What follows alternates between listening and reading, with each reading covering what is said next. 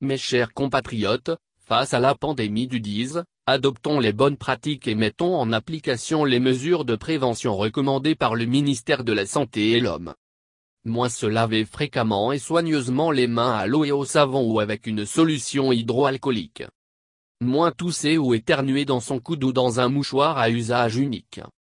Moins saluer sans se serrer la main, éviter les embrassades. Moins éviter au maximum les rassemblements. Je présiderai, ce lundi 16 mars, un Conseil national de sécurité sur le 10.